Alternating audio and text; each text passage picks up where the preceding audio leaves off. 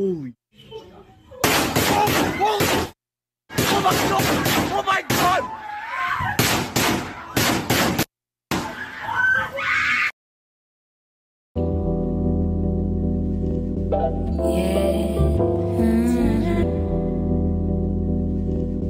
Over the span of 20 months, America was shook to its core by three of the most deadly shootings in its modern history, and not only have they led to gun protests, but have also led to unique art that have given gun victims relief and hope for the future. With each shooting in Orlando, Las Vegas, and Parkland, there have been many artists who have paid tribute to the victims with many different artwork that have convinced them that there will be justice for those who were killed.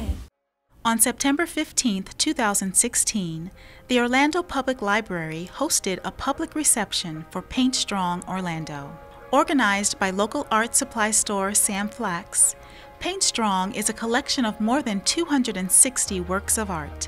All of the pieces were created with art supplies donated by Sam Flax to anybody who wanted to make a work of art that reflected the strength of the community in response to the June 12th shooting at Pulse nightclub that killed 49 people. It's a sobering experience, hanging pieces on the wall um, with names that are written and faces that you recognize of people that are no longer here. Um, it's not an easy task. If there's anything to take away from that, I hope from tonight it is that these walls have never looked brighter since I've been here, and they radiate with the light of 49 lives that passed way too soon. With Orlando being such a tight knit community, you would be hard pressed to find someone that wasn't directly affected by the events of June 12th. But since that day, our city has come together in ways that I don't believe any of us could have predicted. My hope is that tonight will continue the sense of unity and healing that pulses through the heart of this city. To our artists, I say thank you for doing such an amazing job. You have helped people heal. You have spoken up for those who cannot speak. You are an example to us all. It is my hope that this collection will continue to shine a light on the spirit of Orlando. Months later, Sam Flax would proudly announce that the show would feature nearly 300 works of art that was given to venues across the nation, beginning with the Orlando Public Library. The art would eventually be auctioned off and all proceeds would be donated to help the Pulse nightclub victims and their families.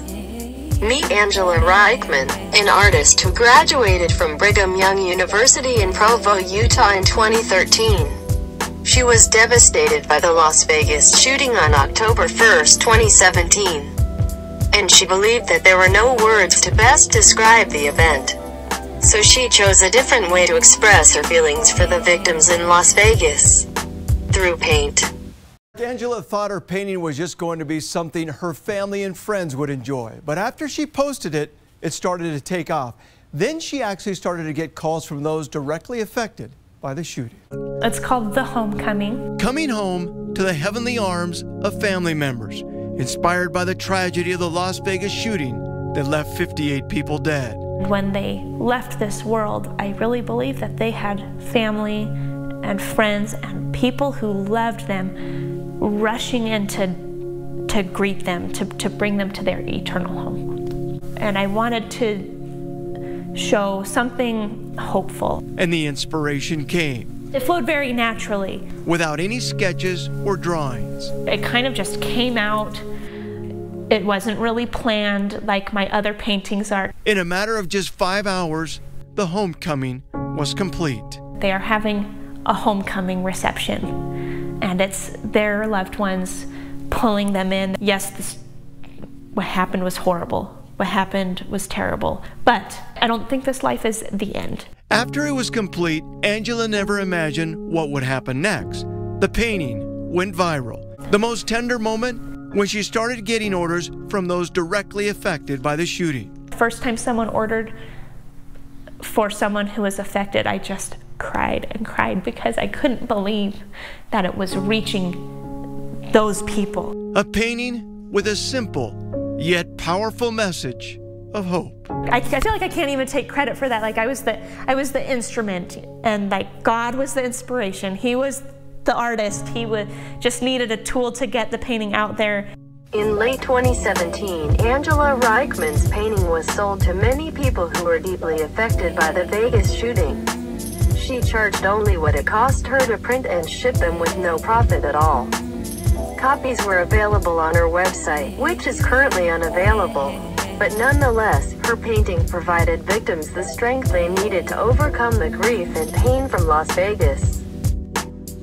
Shooting at Marjory Stoneman Douglas High School on February 14, 2018, basketball star Dwyane Wade organized an art exhibit at the Wynwood Art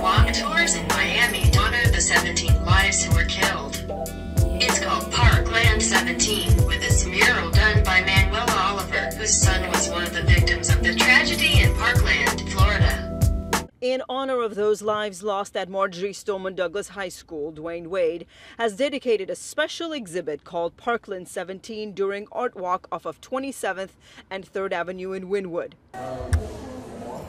Students and parents from Parkland stopped by the exhibit. It was emotional as the father of 17 year old Joaquin Oliver, killed at Douglas High, created artwork. The face of his son at the center, the message clear, and his anger apparent. Parkland was the safest city in Florida. It shows that it truly can happen anywhere. No one expected it. And there's so many cities like Parkland all around the country, and we want to emphasize that this can happen anywhere and it could happen in your town. Statistics about gun violence. Creative director Caitlin Barnett says Wade wanted to make sure this exhibit wasn't just about remembering.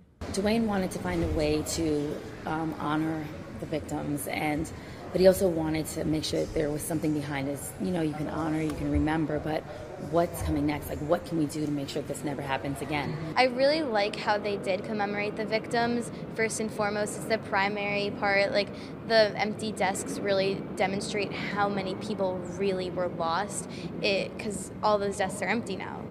An inspiring painting is not enough to end the gun violence in America. It requires people to use their own voices to tell local politicians, U.S. Congress, and the President's administration their hopes for gun regulations. People continue to hold protests and rallies across the country demanding that the U.S. government put in gun laws to control the killings. Before the Parkland 17 exhibit, the students who survived the Stoneman Douglas High School shooting started March for Our Lives, a student-led demonstration that gained support of people who wanted a change in gun laws and showed that even the youngest can have the strongest voice against violence. The artists who paid tribute to the victims of each mass shooting showed how passionate they were with the subject of the matter and provided art that gave much needed relief and hope that the fight for gun control will take a turn for the best.